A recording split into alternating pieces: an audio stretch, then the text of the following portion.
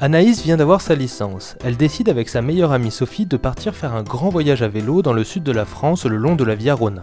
En se renseignant sur internet, elle découvre Cyclapass, une application qui permet d'organiser son voyage à vélo dans différentes régions de France et d'accéder à de multiples services via des réseaux de points relais CycloHub.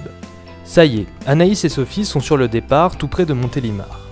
Après quelques jours à pédaler, elle s'arrête dans le centre-ville de Pont-Saint-Esprit et y découvre le premier CycloHub, un dispositif urbain implanté dans l'espace public qui permet notamment de sécuriser et de recharger son vélo. Anaïs s'approche de la vitrine numérique et interactive et découvre de nombreux services. Une cartographie interactive de la ville avec la localisation des points d'intérêt, boulangerie, épicerie, marché, magasin de réparation de vélos et d'autres services bien pratiques, des informations et des actualités sur la ville et la région, avec toutes les balades et les circuits touristiques à vélo et les agendas des manifestations d'événements, ainsi qu'une météo locale, des offres promotionnelles des commerçants et des activités sportives et touristiques, une présentation des artisans locaux et de leurs créations, des services personnalisés pour les voyageurs avec notamment un coffre-fort numérique, ainsi que des communautés de forums thématiques pour les voyageurs et les associations locales.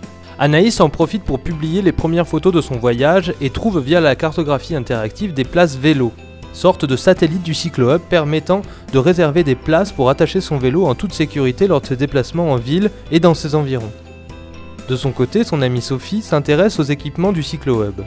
Un point d'eau pour remplir les gourdes, un point d'accès électrique alimenté par des panneaux solaires dans lesquels on peut laisser ses batteries et ses appareils en charge en toute sécurité, une connexion Wi-Fi, des casiers automatiques utilisés également par les habitants et les commerçants.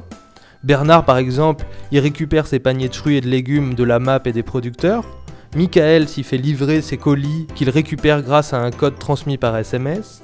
René utilise occasionnellement le service pour donner les clés de son gîte et Hugo, quant à lui, assure des collectes et des livraisons à vélo pour tous les commerçants locaux. On retrouve également dans le cyclohub un gonfleur et un kit de réparation et des consommables pour vélo. Sophie en profite pour changer ses patins de frein pendant qu'Anaïs vérifie l'état des vélos et regonfle les pneus.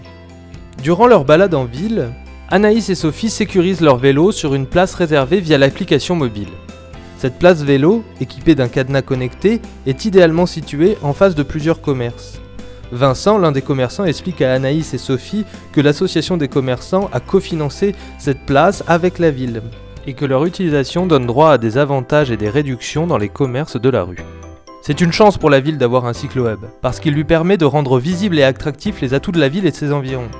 Grâce à cela, Pont-Saint-Esprit est devenu plus qu'une simple étape le long de la Via Rona, et la durée des visites s'est progressivement allongée.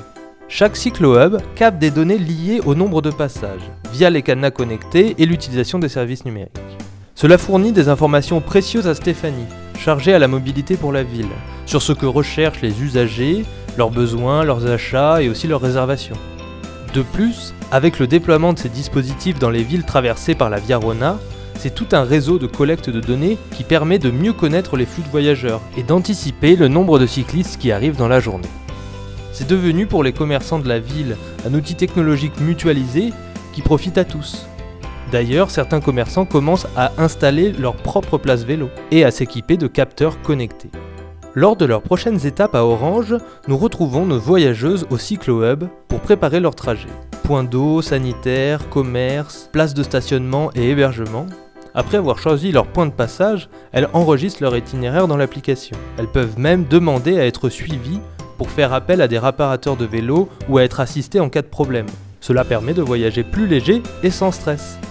Arrivés à Avignon, en plein festival, Anaïs et Sophie sécurisent leur vélo dans le cyclohub du centre-ville et découvrent l'espace Opinion Libre en pleine effervescence. Opinion Libre est une sorte de kiosque éphémère et modulable qui se déploie à partir du cyclohub. Il est utilisé comme un relais du service public ou des initiatives locales différentes animations y sont régulièrement mises en place durant des périodes estivales. Il sert, selon les cas, d'espace d'accueil, d'information, d'écoute, d'échange ou d'expression sur des horaires atypiques. Aujourd'hui, l'Office du tourisme, qui ferme normalement à 18h, y effectue une permanence jusqu'à 20h. Anaïs et Sophie en profitent pour prendre de l'information sur le festival et des conseils sur les spectacles à voir. Puis, vers 20h, une association locale de théâtre utilise l'espace pour organiser des matchs d'impro dans le cadre du festival. C'est l'occasion pour Anaïs et Sophie d'expérimenter leur talent de comédienne. Pour Anaïs et Sophie, le voyage se conclut quelques semaines plus tard à Sète. Elles profitent de leur dernier arrêt pour déposer un avis sur le cyclohub et publier une photo de leur arrivée témoignant de leur exploit. Après cette belle expérience, Anaïs et Sophie savent que d'autres cyclohubs les attendent dans d'autres villes de France pour faciliter leur prochain voyage à vélo.